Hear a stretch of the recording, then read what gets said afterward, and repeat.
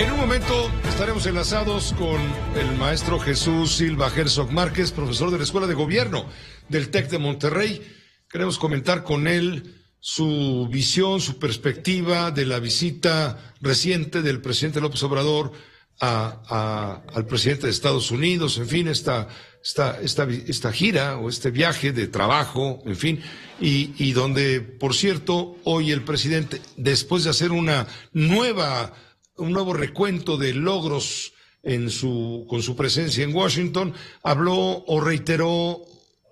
o confirmó, reconfirmó que el 18 de noviembre será aquí en México la reunión de los jefes de Estado y de gobierno de México, Canadá y Estados Unidos, firmantes del Tratado Comercial.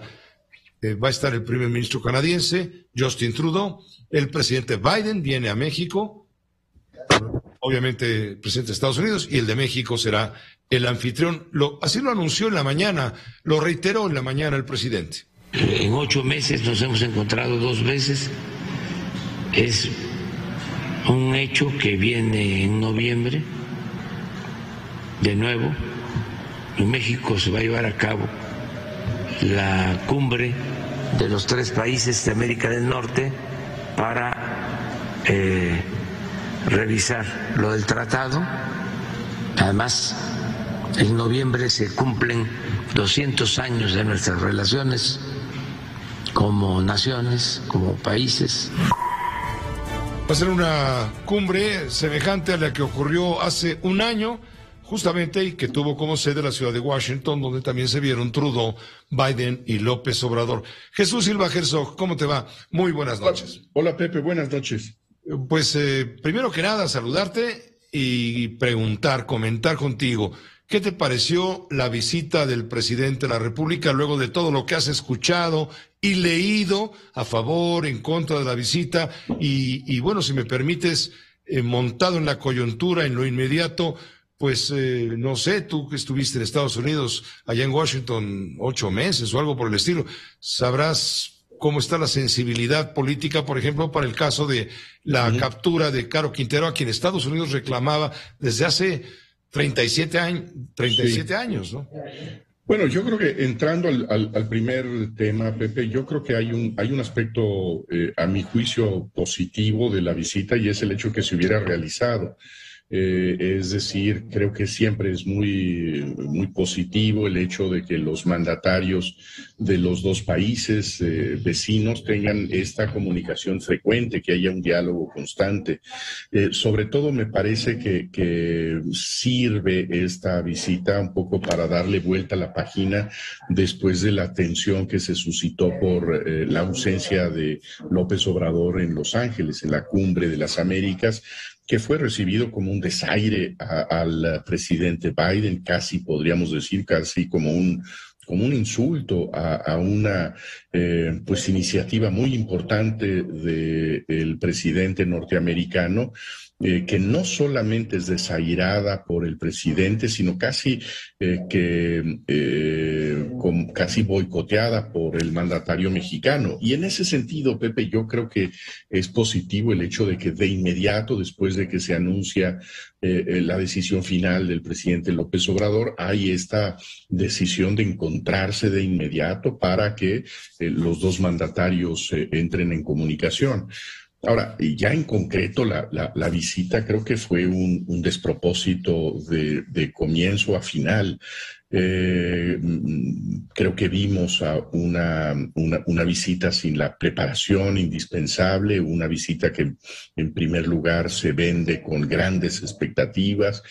como una visita en donde el presidente mexicano tiene una lista de propuestas, eh, en donde iba a darle lecciones de economía al presidente de los Estados Unidos,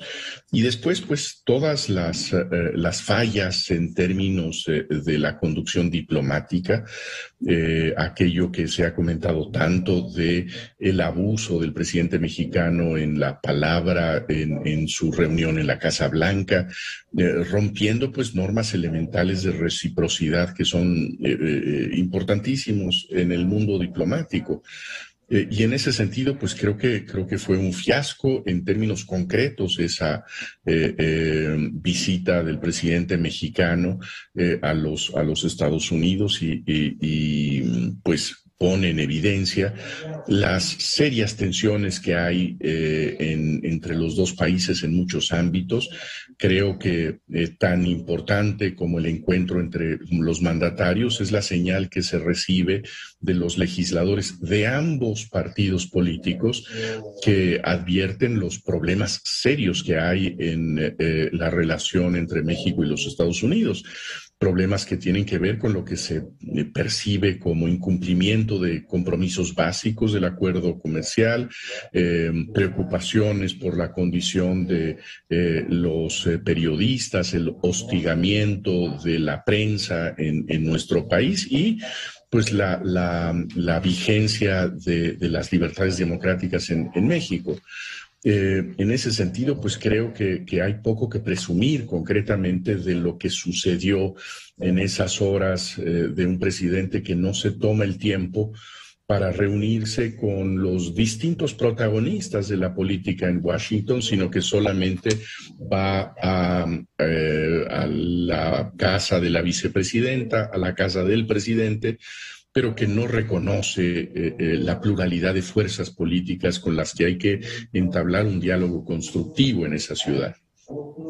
Jesús, pues, eh, y seguramente va a caer bien el anuncio de la captura y lo que parece inminente extradición expedita de Rafael Caro Quintero, uno de los más buscados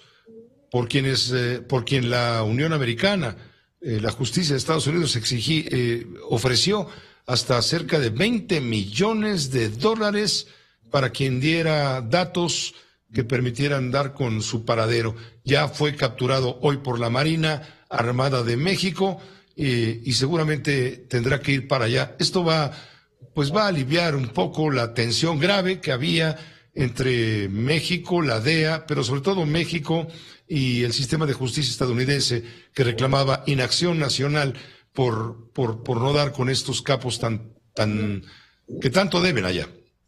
coincido en que será, será muy bien recibida esta noticia en las distintas agencias de seguridad eh, de los Estados Unidos por el gobierno norteamericano. Bueno, se trata de un, de un personaje al que se ha buscado durante décadas y que tiene eh, eh, una, una, historia que afecta, que incide muy claramente en la relación de México con los Estados Unidos. En ese sentido, creo que, creo que es una, eh, un golpe muy importante que hay que reconocer del gobierno de la República, particularmente de la,